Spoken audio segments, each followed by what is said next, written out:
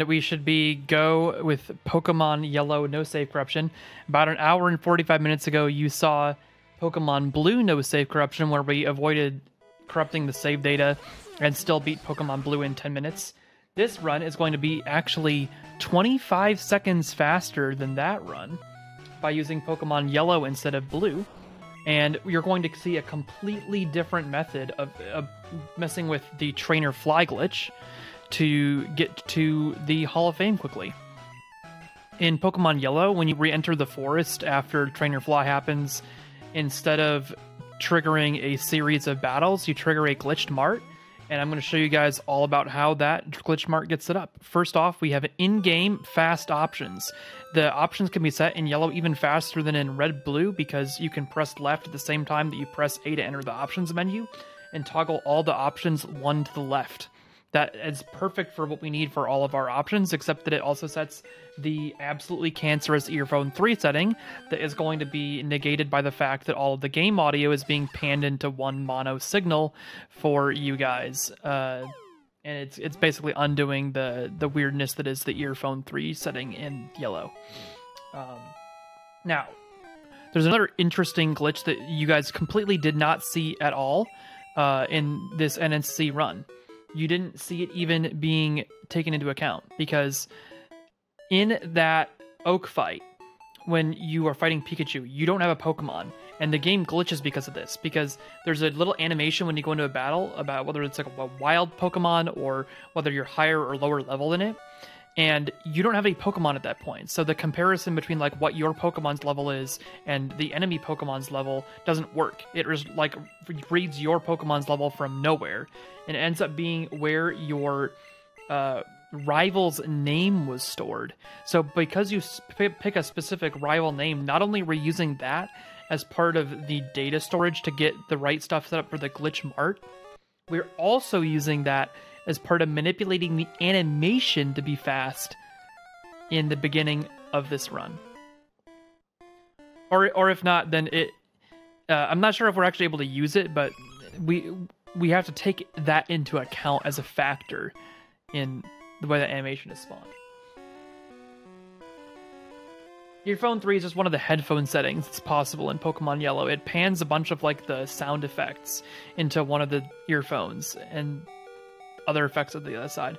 Um, here we got a specific number of tackles uh, and thunder shocks from Pikachu to get Pikachu into red bar while winning the fight. We need to win the fight for Pikachu to get a certain amount of stat experience from Eevee as part of setting up data to get the glitch mart to appear. And all the items to work the way we want to.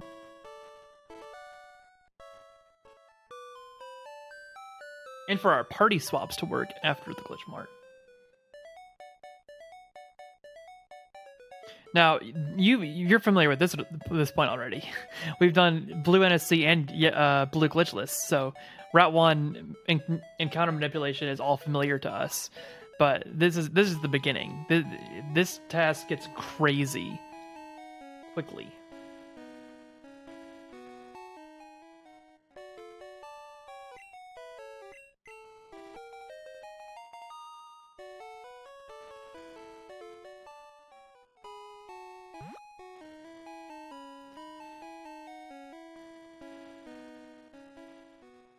You'll see here us taking again the right side of the grass, showing off that we can avoid getting any encounters, never having to worry.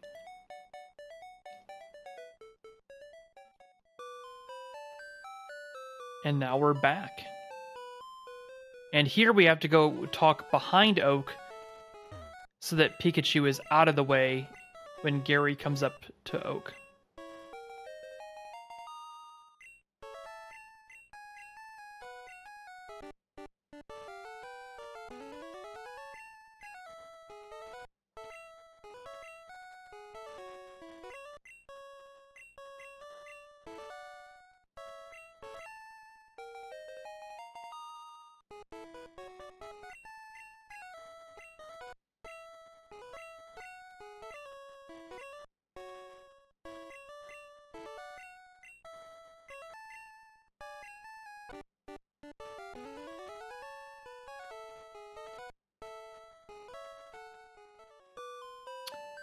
And now on our way back up, we are going to buy some Pokeballs, if I remember correctly, in Viridian City, and then we're going to go to the forest.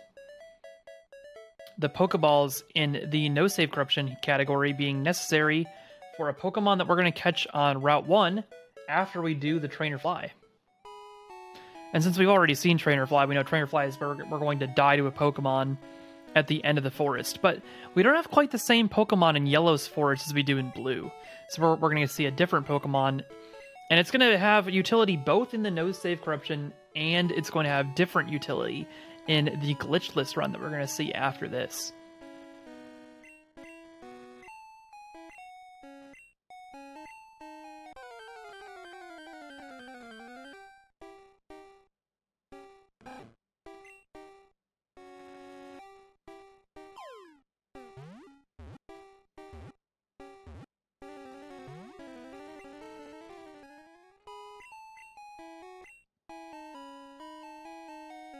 A little annoyance here in yellow that we didn't see in blue is that that old man blocks our path and does a second catch tutorial. They went from zero catch tutorials in blue, red, red blue to two in yellow, with both Oak catching a Pikachu and the old man trying to teach you how to catch Rattata.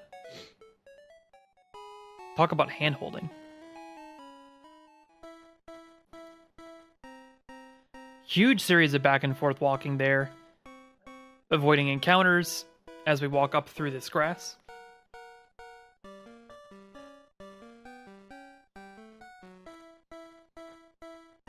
And now some A presses. No nuance to the grass here. In yellow, they've now fixed the grass, so there's no there's no like point to where you walk.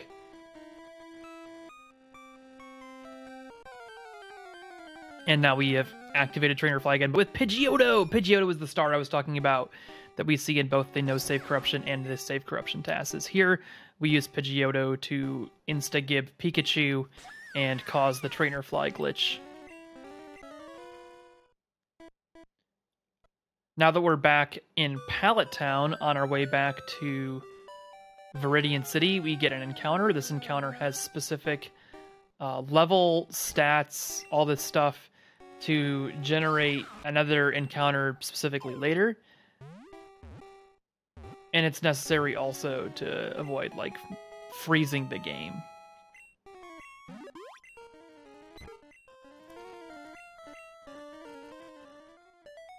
We're not going to be able to make our way right back to the forest. We're going to have to do a little bit more intricate stuff in Viridian City and this is where the this is the meat of the no save corruption run right here. So if you're if you're looking for like a high point, th- this is really what you should be paying attention to for the the meat of the yellow no save corruption run. That's different from the blue no save corruption run. A little bit of a similar thing here that we have to deposit a Pokemon to align data into the boxes. But now, instead of going right back to the forest, we're going to go into one of the houses in Viridian City. And why is this? Well, we need to get the girl on the left to move up while the bird moves to the left. And we're continuing to manipulate those um, sprite movements. And then at this point, we have the bird move off the screen to the left as we move to the right. That freezes a specific data, like value in one um, byte of VRAM. And then we jump over that ledge to keep that byte frozen and that byte in the video RAM, the PPU's RAM, is stuck there now. It's just, it's not being used by any other sprites as we walk back to the forest, and now that we enter the forest, it gets read by a text buffer and we have a mart. and now that we have the mart, we buy a specific glitch item, 4F. 4F is, yeah, the OAM, the object attribute buffer. Yeah.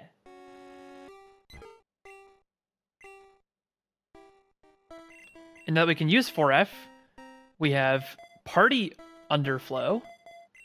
Party Underflow lets us do lots of crazy things very, very powerfully to get us to the Hall of Fame.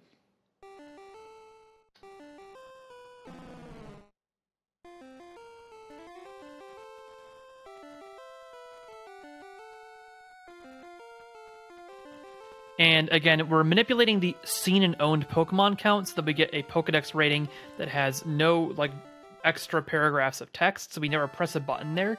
So the last input of the no save corruption TAS is actually uh, at well, I, the timer must be a tad off here, but the time it's at uh, 9:47.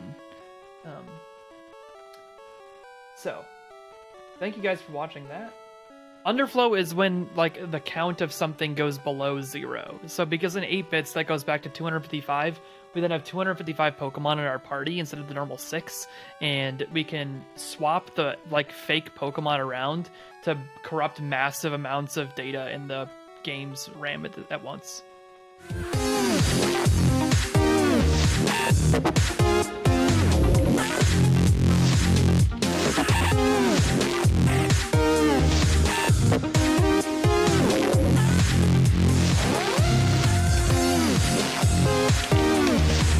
We'll be right back.